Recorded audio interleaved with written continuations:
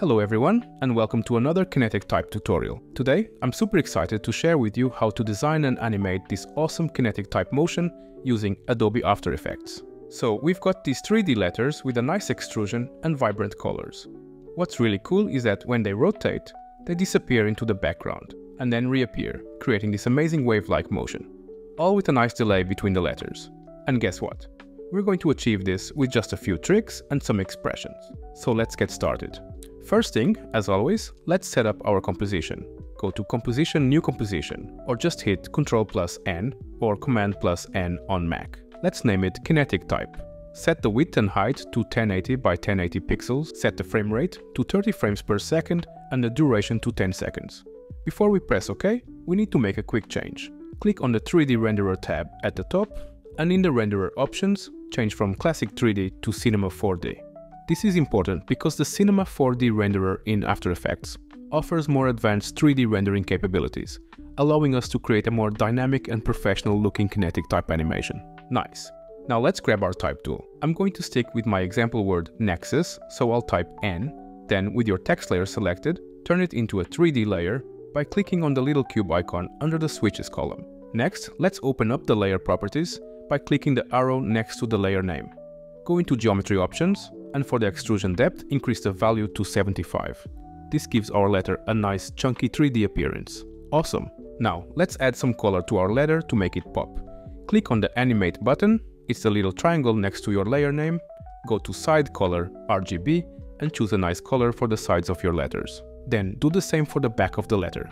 Animate, Back Color, RGB, and set the color to black to match our background. This way, when the letters rotate and show their back, they blend seamlessly with the background. Great! Now we need to move our anchor point to the center of our 3D letter, so that when we rotate it, it rotates perfectly from the center. The easiest way to do this is with our letter selected, grab the anchor point tool from the toolbar.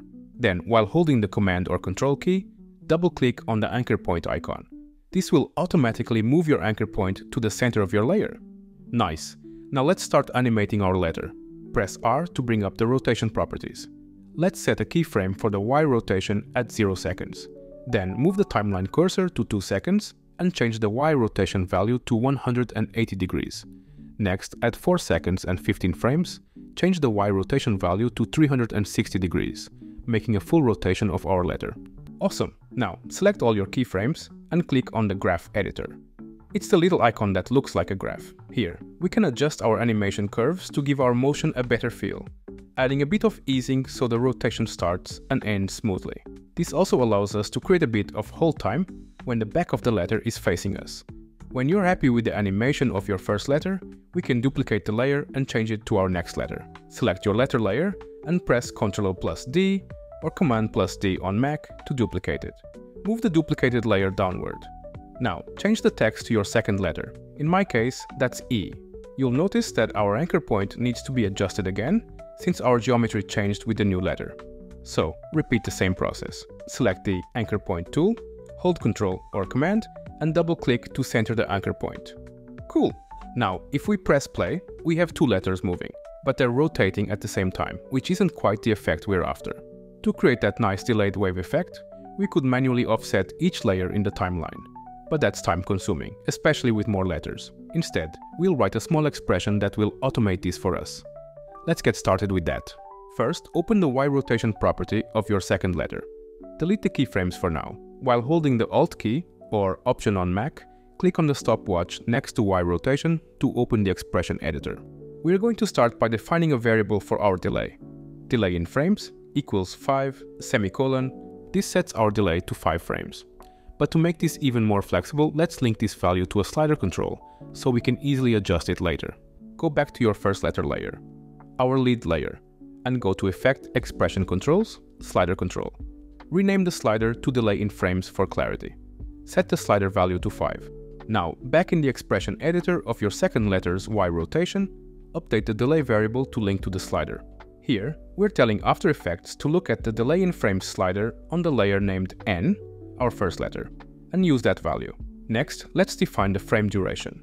Frame duration equals this comp period, frame duration, semicolon.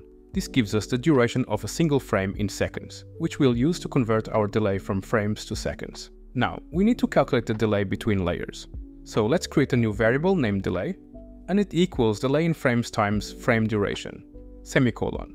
So we have delay in frames, which is the number of frames we want each layer to wait before starting. Since After Effects works with the seconds, we multiply delay in frames by frame duration. That's how long one frame lasts in seconds. This gives us delay, which is the actual time in seconds each layer should wait before it starts animating. Now let's reference the rotation of our source layer, the first letter. Source rotation equals, and using the pick whip tool, select the Y rotation of the main layer. Then calculate the total delay for this layer. Total delay equals, open parenthesis, index minus, and using the pick whip tool select our lead layer, period, index, close parenthesis, multiplied by delay, semicolon.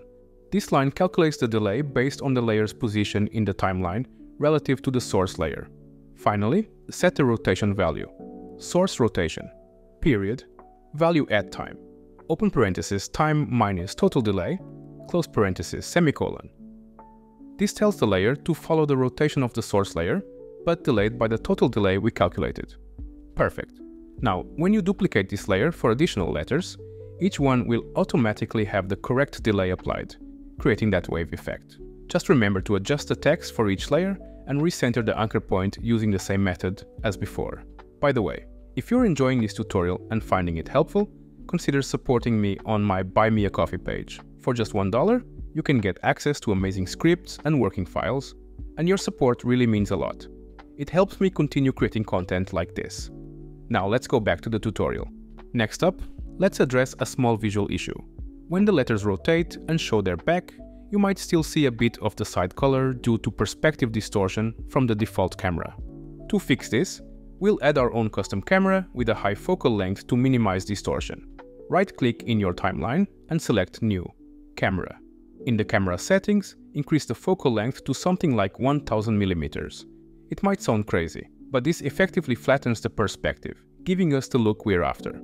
After adding the camera, you might notice your letters are too close or not all visible. Select the camera layer, press P to reveal its position properties and adjust the Z position. Move it back until all your letters are in view. You might also need to adjust the position of your letters slightly to get them nicely centered. Now, if you preview the animation, it should look perfect, with the letters disappearing and reappearing seamlessly. Great, let's tidy things up a bit. Select all your letter layers and the camera layer, then right-click and choose Pre-Compose. Name the new composition Type Motion. Inside the Type Motion composition, we can crop the composition to fit our text nicely. Use the Region of Interest tool, found at the bottom of the Composition panel, to draw a box around your text. Then go to Composition, Crop Comp to Region of Interest. This will resize the composition to just the area we selected. Now, back in your main composition, position your Type Motion Precomp to the left side of the screen, then right-click on your Type Motion Precomp layer in the timeline, go to Time and select Enable Time Remapping. This adds a time remap property to our layer, allowing us to control the playback timing of the precomp. Now, we want to write an expression that will automatically delay each duplicated layer. Just like before, we'll start by creating a delay variable hold down the Alt key or Option key on Mac and click on the stopwatch icon next to Time Remap to open the expression editor. And let's start with our first variable, delay in frames equals. And the same way we done before, let's apply a slider into this lead layer. And let's connect this variable to the slider value. And let's add a value of 5 already to this slider, so we already have a 5 frames delay planned our, our animations to start. Now we need to get the duration of a single frame. Frame duration equals this comp period frame duration, semicolon. This line sets frame duration to the length of one frame in seconds, which is essential for converting our delay from frames to time. Now let's calculate the total delay for each layer. Equals, open parenthesis, index minus 1, close parenthesis, multiplied by delay in frames, multiplied by frame duration, semicolon. Let me break this down. Index is the layer's position in the timeline. Index 1 calculates how many layers are below the original type motion layer. By multiplying this by delay in frames and frame duration, we convert the frame delay into seconds, giving us the total time delay for each layer. Set the time remapped value with the delay, value at time, open parenthesis, time, minus, total delay, close parenthesis, semicolon.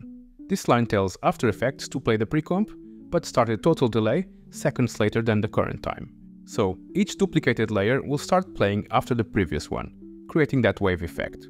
So putting it all together, our full expression looks like this. Perfect. Now let's duplicate our type motion layer.